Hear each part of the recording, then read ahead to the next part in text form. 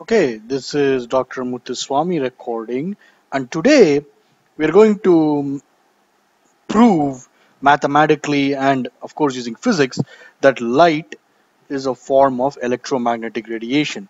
And I'm sure there are many references for this, but the reference that I found that was uh, that had a very beautiful proof is a student's guide to Maxwell's equations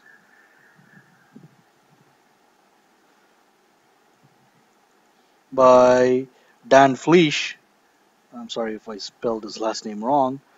Uh, Cambridge University Press.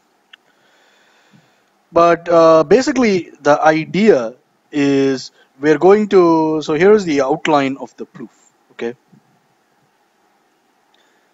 We're going to look at light uh, traveling in vacuum. Okay. Traveling in vacuum satisfies the wave equation. Okay. So the wave equation, the classical wave equation is d squared, oops, let me write it this way, d squared f, d squared phi, I just said f, d squared phi dx squared is 1 over c squared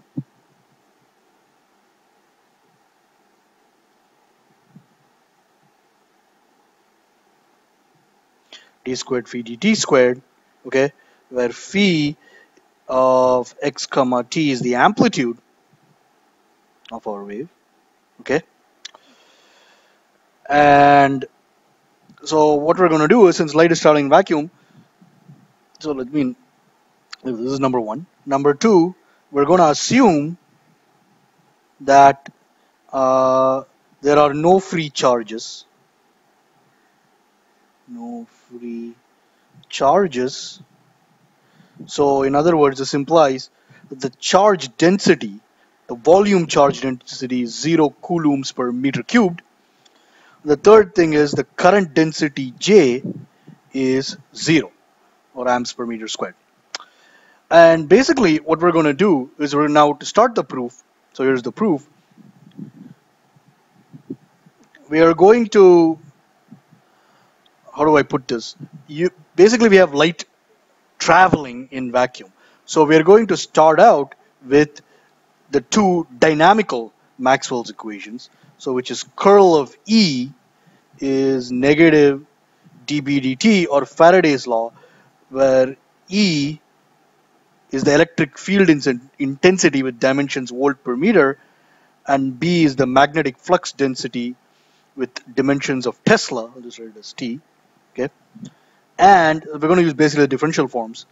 So in other words let me say recall that this is true. And the curl of B is mu naught times J where B mu naught is the magnetic permeability of free space plus epsilon naught dE dt okay? So here the units of current density are amps per meter squared. So let me write it up here okay Whoops.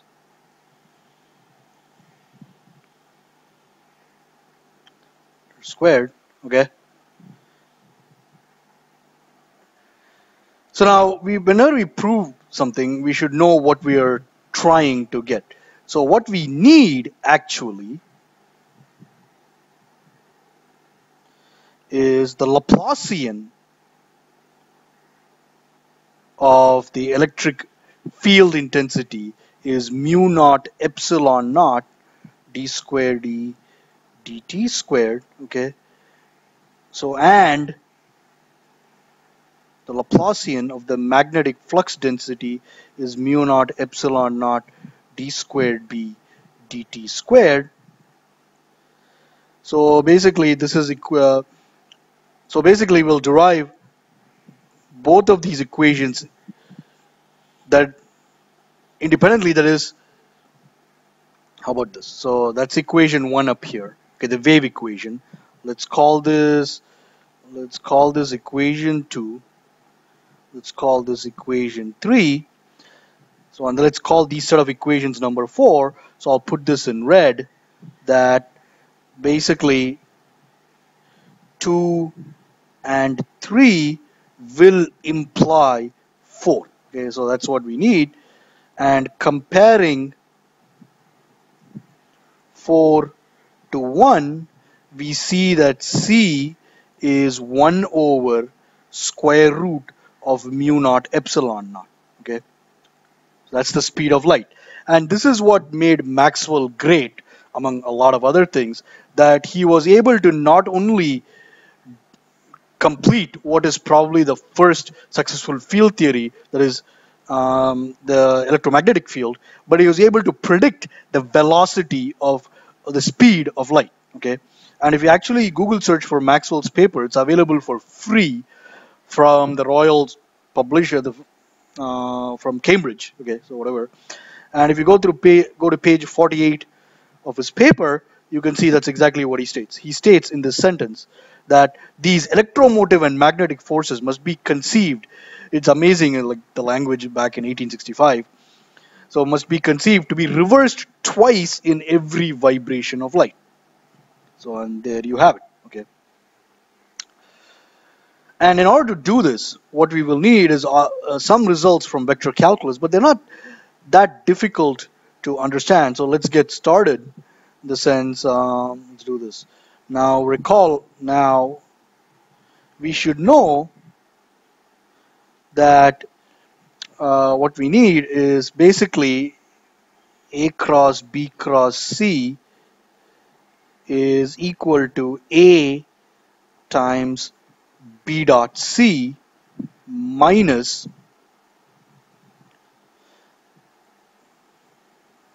I'm going to write it like this. You should know these results from vector calculus.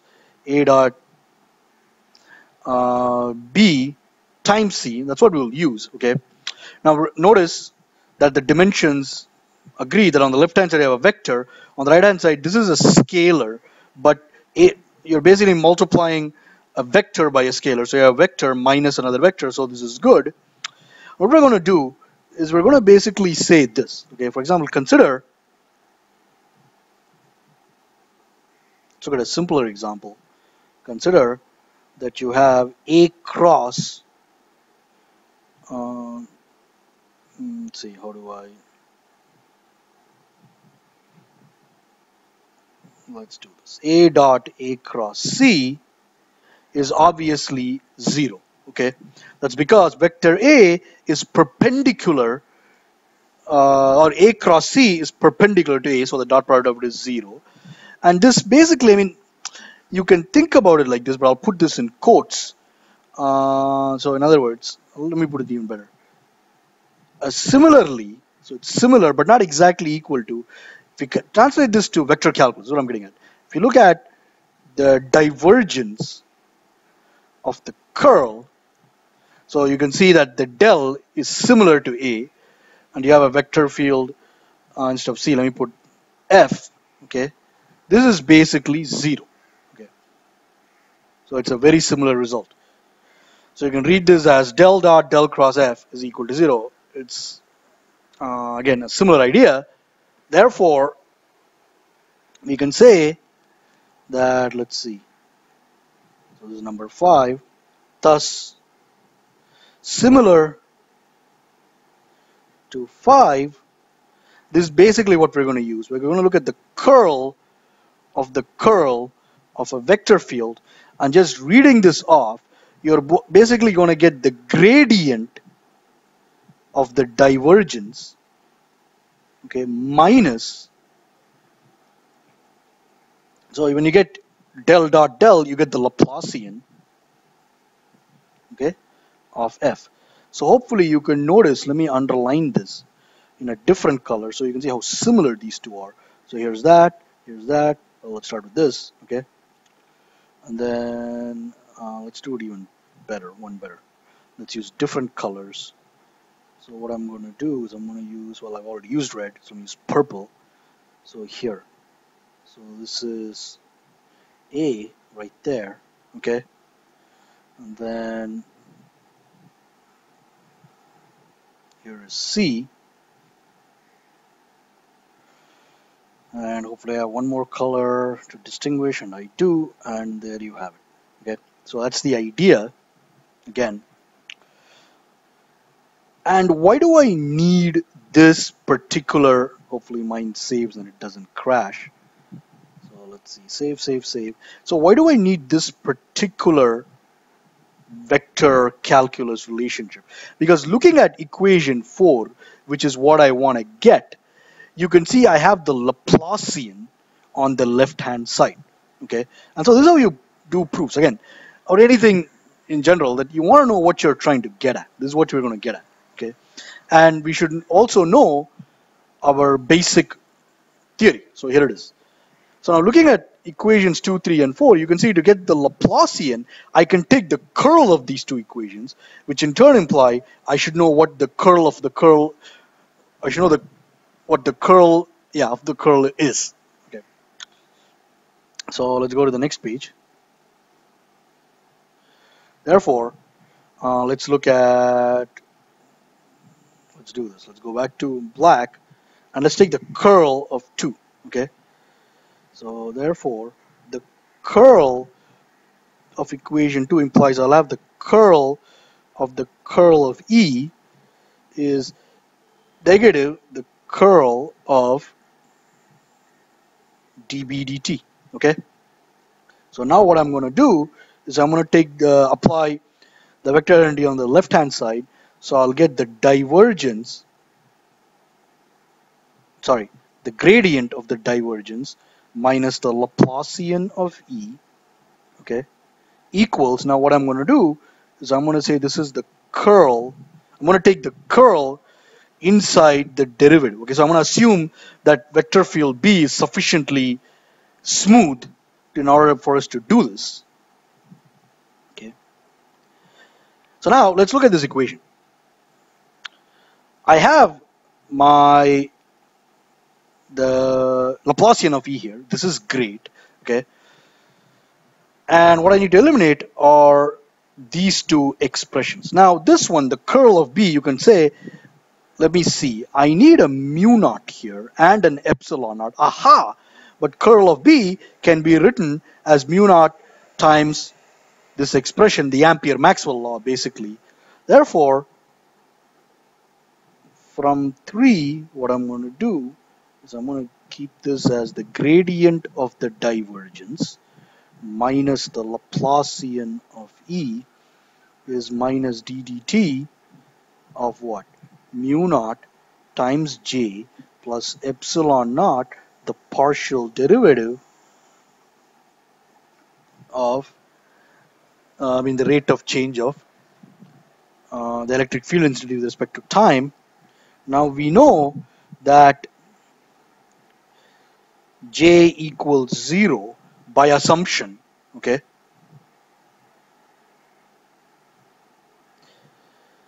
So now looking at this, we can see that well if j equals 0, that's great. You get negative mu naught epsilon naught d squared e dt squared, which is beautiful, which is what the right hand side of what we want is. But then how do I eliminate? So now we got to think. Okay, so I don't want this expression. So in other words, this has to be 0. But how? Going back, you can see, wait a minute. I made one more assumption that there are no free charges. Rho equals 0. So let's add coulomb per meter cubed, okay? So how do I use that here? How do I get rho in here? And then you can think about, wait a minute, Gauss's law says that the divergence of E is rho over epsilon naught and rho is zero. Beautiful. Therefore, the gradient of this is zero. So what we basically get is what we want. So we will get with the negative signs cancelling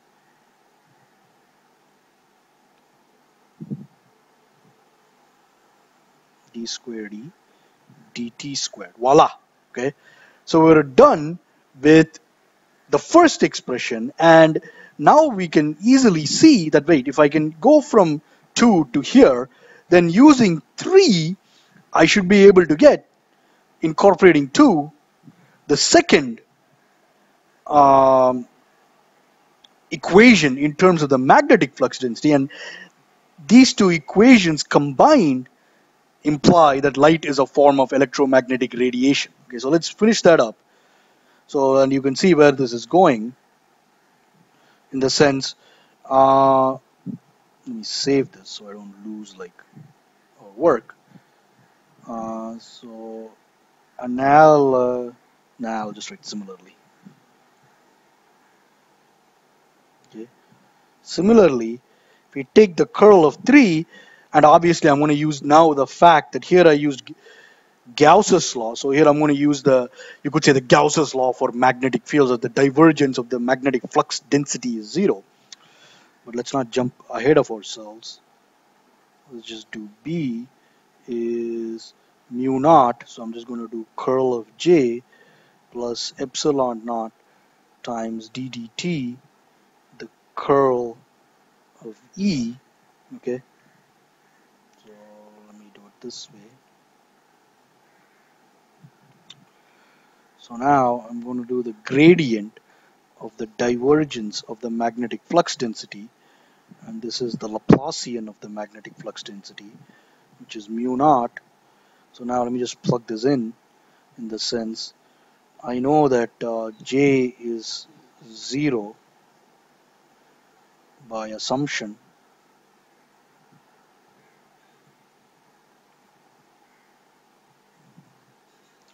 and then uh, basically the curl of E is minus dB dt, Faraday's law, okay?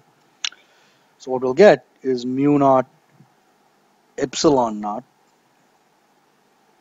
and I put a nice implied sign, d squared b dt squared, and here this implies uh, divergence of magnetic flux density is zero, so in other words, let's see, I'm missing, oops, I'm missing a negative sign here. So here's the negative sign, so it should be a negative sign there, and voila. So you have the Laplacian of B is mu naught epsilon naught d squared B dt squared. And there you have it, QED, quad demonstratum. Okay, so to recap, we have given you a simple proof courtesy of the book A Student's Guide to Maxwell's Equations by Dan Fleisch. A very simple proof that light is a form of electromagnetic radiation. Okay? That is, both these equations uh, can be obtained from Maxwell instead of four Maxwell's equations, but we basically started out with the quote unquote uh, dynamic. Uh, We started out from uh, electric, uh, the dynamics uh, the dynamical Maxwell's equations. And in the process, we also use the static Maxwell's equations, that is Gauss's law for electric fields and Gauss's law for magnetic fields. But these two equations finally imply, by comparing to the classic wave equation, that C is 1 over square root of mu naught epsilon naught. And again, to highlight the genius that is Maxwell, that is one of the many things that made him a genius, that he was able to use his theory to prove that light is a form of electromagnetic radiation. So in addition to completing uh, Ampere's law, that is giving this addition, adding this additional term so that Ampere's law is applicable to time varying situations as well, Maxwell was able to use that to prove that light is a form of electromagnetic radiation.